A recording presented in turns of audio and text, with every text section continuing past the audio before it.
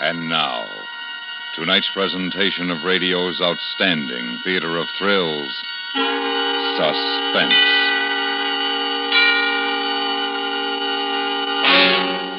Tonight, we bring you a transcribed story of a man caught in a mine shaft, trapped by his own conscience.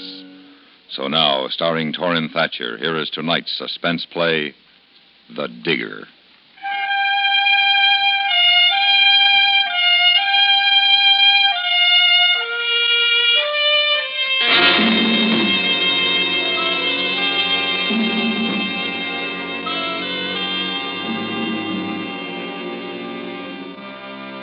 Was not a tall man, not over five foot seven, but the attitude of determination he had acquired the day before, when he had unexpectedly sighted his quarry, seemed to have added at least a foot to his stature. As a result, he walked through the dirty, narrow streets of the native section that morning without incident. No one blocked his path. No one cursed as he passed by.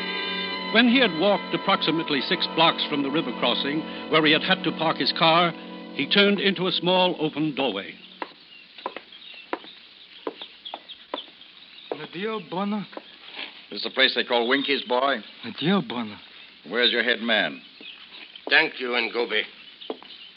Sir, you do not wish to drink here? There are many places better for gentlemen across the river. I didn't come here to drink. What other reason could you have for honoring my establishment, sir? Well, I'm told you rent rooms upstairs. You're a policeman, sir? No? Sir, you have been misinformed. Now, please, you go, huh? Then you don't have rooms here. Only two, sir, where my family and close friends may rest.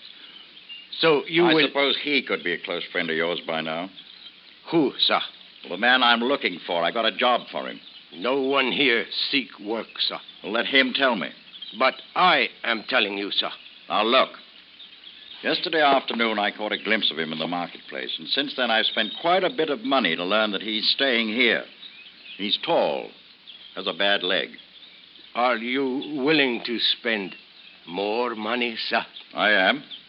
You sit down, sir. Rest yourself. In Gobi, Yes, mister.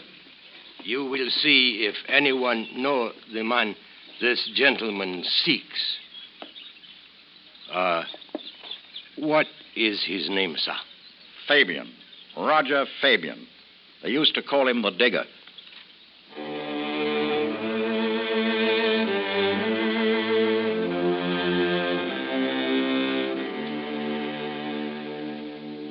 Upstairs in a small, musty room almost directly over Carton's head, Fabian sat on the edge of a narrow cot. He had aged in the past two years. His stomach had soured, and he had grown thin, so that now he scarcely resembled the man once known as the digger. For several weeks, he had heard that someone was asking questions about him, trying to track him down. And several weeks ago, if he could have paid Winky what he owed, he would have left this place and gone north. But he never seemed to have enough money, so now he waited, knowing the man would find him, wondering what the man wanted.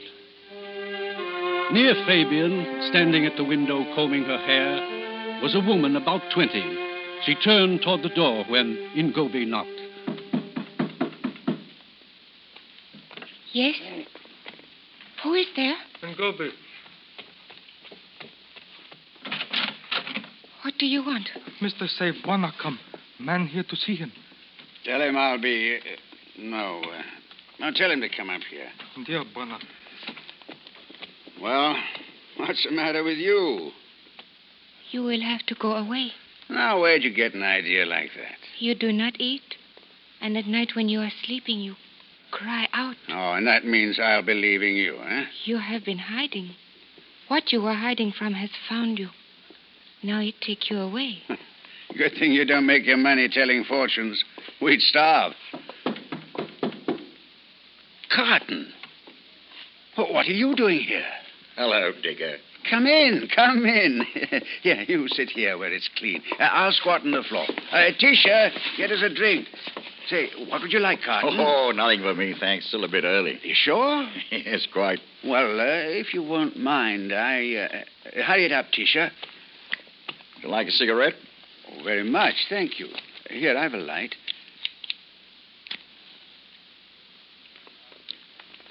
You're hard to find, Digger. Oh, so you're the one that's been looking for me, eh? I'd heard someone was. Mm-hmm. Been a long time, hasn't it? Hmm, two years. Two years, seven weeks. You haven't forgotten. Could you have? Hmm, I don't know. It depends on what really happened down there. I told the court of inquiry what really happened. Yes, of course you did. How long you been living here? Long enough. I suppose you know how it looks. You know how it feels? Oh, I'm sorry, old chap. I didn't mean to. You think I live here by choice? I couldn't get a job after I left the mine. Not a job anywhere. I tried for over a year before I gave up. I'm sorry. Yes, everybody is sorry, including me. Poor old Digger had a bit of a rough go, didn't he? Took 30 men down with him. Things got a bit touchy during a cave in, and, and only old Digger makes it back topside. You know the mine was closed right after that? Yes. Should have been closed before. It was already worked out. Well, perhaps not, Digger. They've opened it up again. They've what? I received a letter from Sandy McGregor. You remember him. Sandy, sure. Now, look. He'd gotten some backing somewhere, found tracings of another vein, most likely. Well, anyway, he asked me to look you up. He wants you to come back. And seeing you like this, well, naturally, I, I think you should. No, no, no, no, I couldn't. Not to Tabora. Well, what happened wasn't your fault, man. I know it, but no one else does. Well, Sandy must he wouldn't have made you a firm offer. How much? Five thousand. Five? Well, why not? There's no other engineer in the union knows that mine as well as you do. Know it like my belly. And you've had experience with the natives up there, too. What's that got to do with it? Well, nothing really, but. Well, after the cave in, when they decided it'd be too dangerous to recover those bodies, the natives put some, oh, they put some sort of a silly taboo on the mine. Hmm. Five thousand, eh? That's right. Now, what do you say, Digger? Uh, I say no. Oh, but good heavens, man, you. Carton, I have nightmares. I see those men trapped down there waiting for me, expecting me to come back, to come back and lead them out. You won't get rid of your dreams in this pest hole, Digger. Believe me, it'll help to go back. And if things don't work out, man, you. Please. Well, it's about time. Where's the drink? Mister say no more without money. And what you owe. Well, now imagine that, Carton. And I only, I only owe the few lousy quid. Imagine that, will you? Digger, I purchased a truck from McGregor. Now, someone's got to drive it up for him. Now, if you like, I can have it at the river crossing tomorrow morning. I don't know. I. I'll get you out of here. Maybe your last chance. It would be better. What? It would be better for you to go back to this place. Oh, you've been listening. Seems she cares more about you than you do for yourself. Mm, Dear Bwana, it's true. Well, let me have your answer, Digger. It's been already two weeks since he asked me to find you. Now, you won't wait forever. Two weeks. Uh, you started looking for me just two weeks ago. Well, that's quite a while to wait when you're anxious to get into production. I know he won't wait much longer. Now, now what do you say? This woman would make a fine fortune teller. You buy me out of here, and I'll go.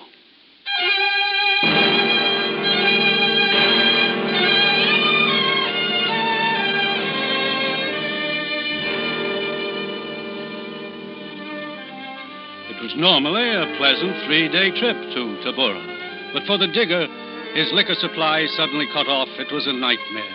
Twice he had to stop for several hours while he fought to control his nerves. But by the time he finally reached the floor of the valley that led to Tabora, the worst was over. Late the fourth afternoon, remembering what Carton had said, he swung the truck wide around the native village.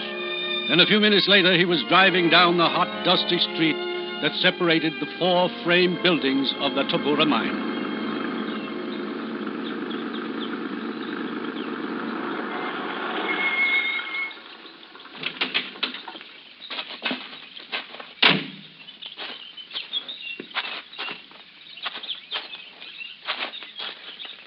Hello, anybody here?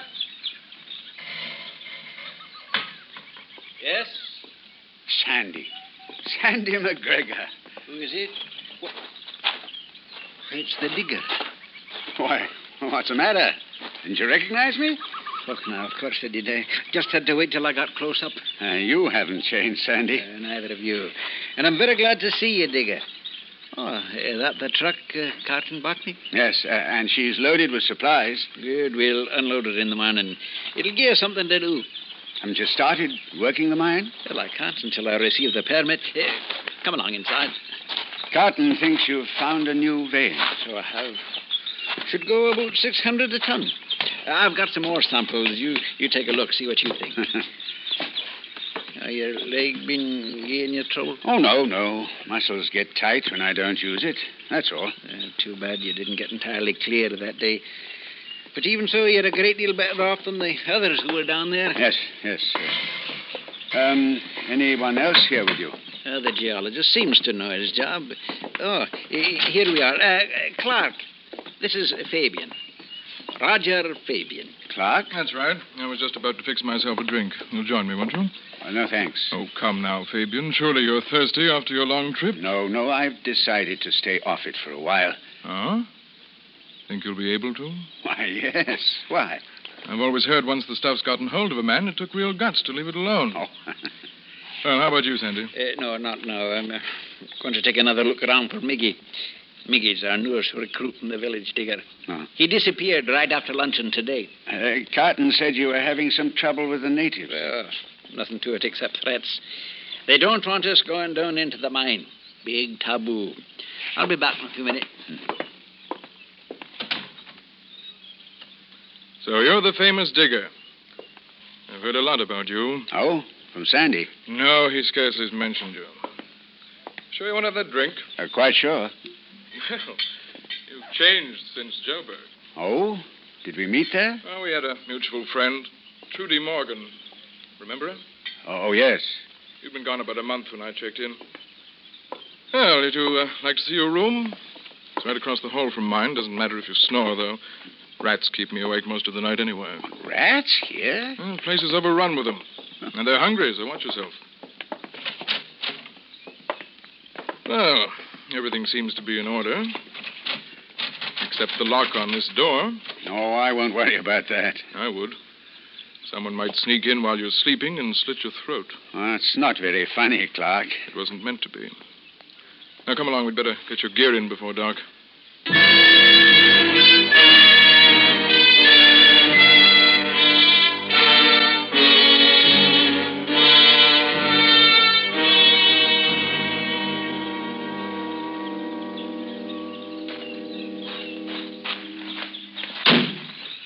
All you have? All I brought with me. Hello. Wonder what they're up to. Clark, Digger? Over here, Sandy. You find him? Uh, no, he's gone back to the village. Well, looks as if I'll have to don the apron tonight. We'll not be eating here. Oh, why not? I went over toward the village. That's no ordinary ceremony they're holding. They're being whipped up into something big. Lots of cooler being passed about. For our benefit, perhaps? I'm afraid so. You mean they might come here to attack us? I'm not going to stay to find out. Where we go? Down into the mine. That's the one place they won't dare to come after us. Now, you and Clark go ahead, Digger. I'll get some blankets and things from the house. Well, what about the truck and your supplies? If we don't get out of this alive, we won't need them. Oh, Digger. I wasn't going to tell you this before you got settled, but I think I should now. Yes? I've taken an oath to kill you. What? I intend to do it within the next few days. Unless, of course, the natives do it for me. Well, come along, Digger.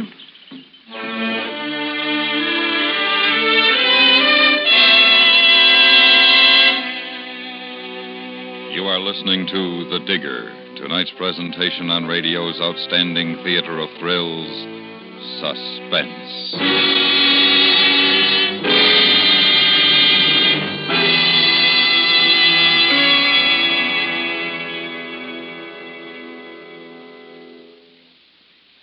Yours truly, Johnny Dollar, is no signature on a Valentine. Not that our danger loving insurance investigator is opposed to romance. It's just that the detective's profession calls for a pragmatic approach to life, if he wants to go on living. That's why, no matter how lovely a lady may be, and no matter how attracted to her Johnny Dollar may be, solving the particular case he's working on always takes precedence over sentiment. The case he's working on right now calls for courage as well as caution. And it's a baffling mystery thriller you'll enjoy following clue by clue as you listen for yours truly, Johnny Dollar, Monday through Friday evening on most of these same stations. And now we bring back to our Hollywood soundstage Torin Thatcher, starring in tonight's production, The Digger, a tale well calculated to keep you in suspense.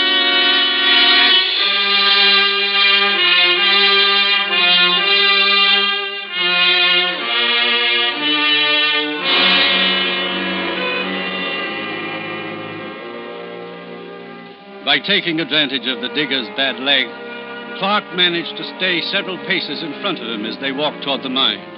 This prevented Fabian from asking questions and pressing Clark for answers. Clark himself was the big question. The digger was not entirely convinced that Clark was serious, yet there was nothing humorous in Clark's threat, which had been made in an unemotional, completely fatalistic way. He was still undecided when McGregor caught up with him. Together, they reached the hoist and climbed into the cage. The moment before they started down, they saw the natives set fire to the building they had just left.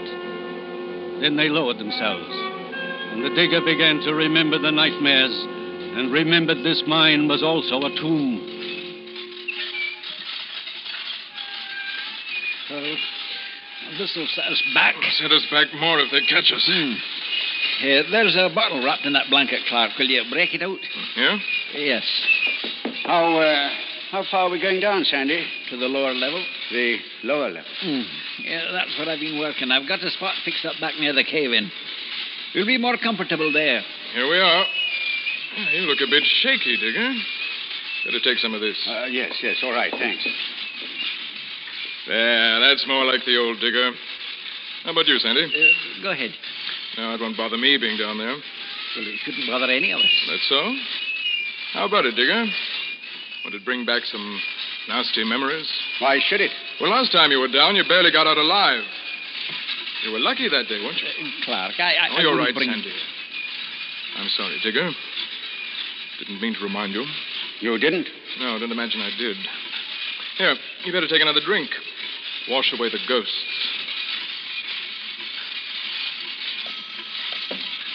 Well, very doing. You hang on to that bottle, Digger. I'll help Sandy with the other things. Uh, wait a minute. What is it? I'm not sure. It's smoke. What? Aye. It is smoke. Coming from up top. They're trying to smoke us out. Yeah, well, that'll take a lot of doing. Come on. Let's get back where we can rest.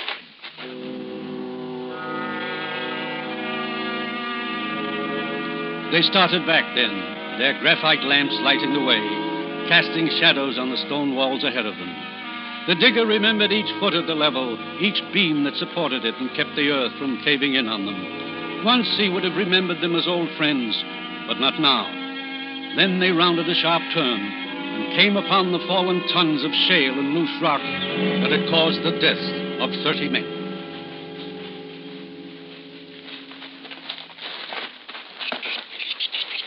Did you see that, Clark? Yes, What was it? a rat. Filthy little rat. Digger, you, you'd better go easy on that stuff. Let him alone, Sandy. You let him alone.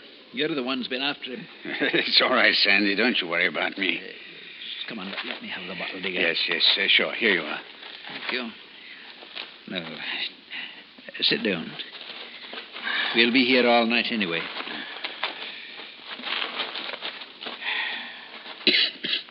Cigarette, Sandy? Uh, no, thanks. We'd better not smoke down here, uh, just in case. Whatever you say. Digger, did you know all the men that were in here that day? No, not all. But most of them. Yes. I saw a letter you wrote to the wife of one of them after it happened. I wrote good many letters. Yes. This woman lived in Suffolk. Has two kids. No. They're about 11 and 14 now. You know who I mean, Digger? No, I, I don't know. Well, was she Henry's wife? Yes, I I wrote to tell her to, to try explain how it happened. And how you managed to get out when no one else did. She believed you, but I didn't. Why? Now, now, wait a minute, Clark. You wait. I've been looking for him for over six months. I'd almost given up. Why, Clark? Why? Don't you know? Has your brain rotted that much? What? Can't you remember his last name? No. Henry's last name. He was your friend. No, I, I don't. You sent his things back to her. I I sent them to. No. No, you, you can't be. Clark. Henry Clark, Digger. No, I. You're Henry's brother. That's right. Why didn't you uh, tell me? It didn't matter to you. No, Why did you lie to her like that, Digger? I didn't lie. You lied. No, I didn't. Then and at the inquest. Now, stop it, Clark. He was cleared at the inquest. Because there wasn't anyone to testify against him. Oh. But there is now. And he's right here, sitting beside me. You remember Trudy, don't you, Digger? The woman in Joburg? Yes. She told me about you. Yes. All about you. You have nightmares. The same one, over and Clark, over. please. Trudy told me she used to come into your room when it was at its worst. You'd be yelling, should have warned them. No, Why didn't I warn them? Clark, And while you were saying it, you'd throw your arms and legs about as if you were fighting your way through hell. Now, Clark, even if it is true, why not forget it? I'll forget it when he can sit here on my brother's tomb with a clear conscience. Oh. Without being sick afraid like he's been since we entered this place. And you know what he's afraid of, Sandy? Of the men buried here. No. Isn't that right, Digger? No. Isn't that right? Yes. Yes. And you're afraid of them because you ran. You left them behind. You saw the danger signs. You knew it was going to give way. But instead of taking time to warn them, you ran. Isn't that true? Isn't it true? Yes, it's all true. Okay. I, I, I've known you a long time, Digger. I, I, I've seen you do things that took more than I had in me. I Couldn't me. help it. Believe me, I couldn't help it. Cave in's the only thing that I've ever been afraid of in my life. Fire, explosions, gas. Yes, I was afraid of them. But not like a cave in, where I'd be crushed to death or die fighting for air. Please, Clark, I couldn't help it. Believe me, I No, no, couldn't. no, no. I- It's all right, Digger. You speak for yourself, McGregor. Ah, now, Clark, you're not going to keep after him. You want me to shake his hand? Show him the meaning of brotherly love? That it? There'll be no harm in it. And a lot of good for both of you. You go to. We may all do just that if they keep on pouring smoke in here.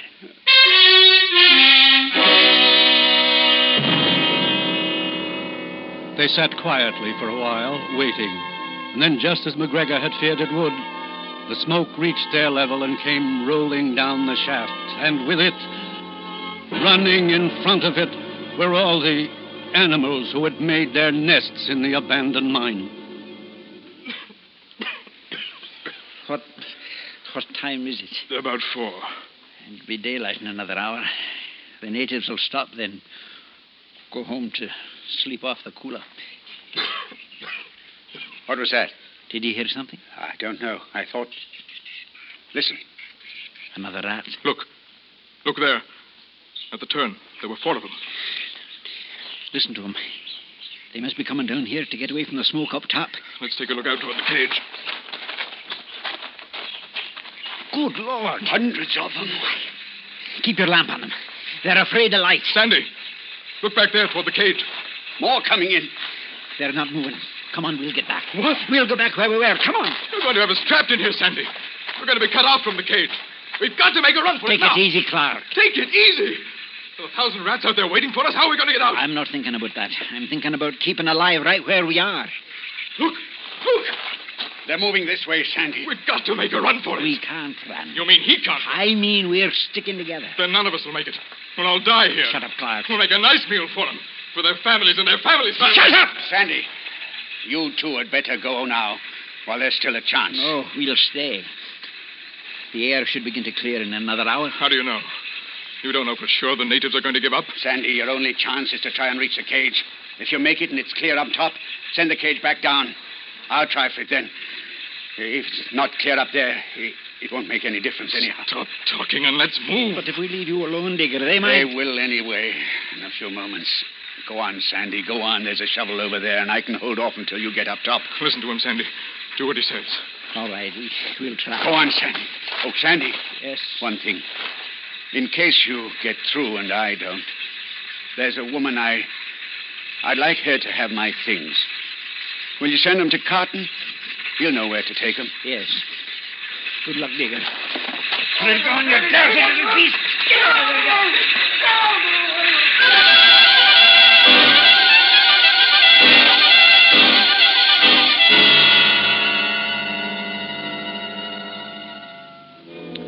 A few minutes later, Clark and Sandy McGregor, having fought their way to the cage, reached the top of the mine and stepped out into a clear blue dawn.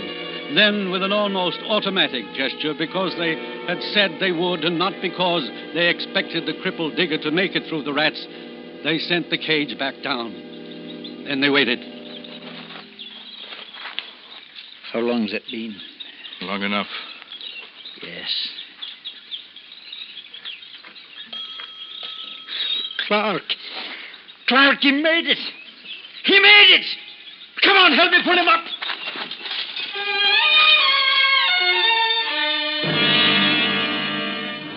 They looked down the shaft, and as the cage neared them, they could see rats clinging to the top of it and to the ropes on each side. Then the cage was clear, and they saw what it carried. No. God. No. Look at him. They must have been all over him for a thousand feet. They buried him as the sun rose full above the horizon. A few days later, Sandy wrote another letter to his friend Carton. The day after receiving it, Carton drove again to the river crossing, parked his car, and crossed into the native section. Before he reached Winky's, where he was to give the woman a very small package, he had been pushed, cursed, and spat upon.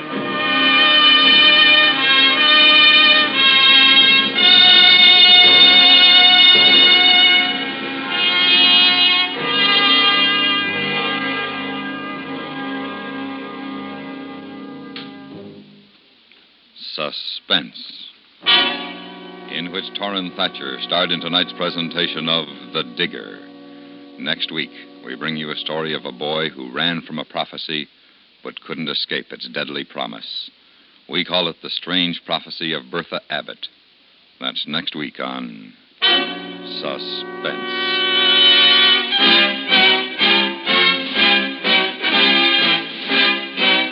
Suspense is directed and transcribed in Hollywood by Antony Ellis. You have heard The Digger, written by Charles B. Smith, especially for Suspense. The music was composed and conducted by Leith Stevens. Featured in the cast were Herb Butterfield, Charlie Lung, Ramsey Hill, Stan Jones, William Byoff, and Parley Baer. Now, a public service message from CBS Radio. In this second half of the 20th century, war could happen in a hurry. Nuclear fission and long range bombers have brought America within striking distance. And unless we're on our guard, an aggressor could deliver devastating blows. To help guard America, enlist in the Ground Observer Corps. Sign up for the silver wings that mean you're doing your share to man our vital aircraft spotter observation posts. Write or telephone your nearest Civil Defense Center and volunteer.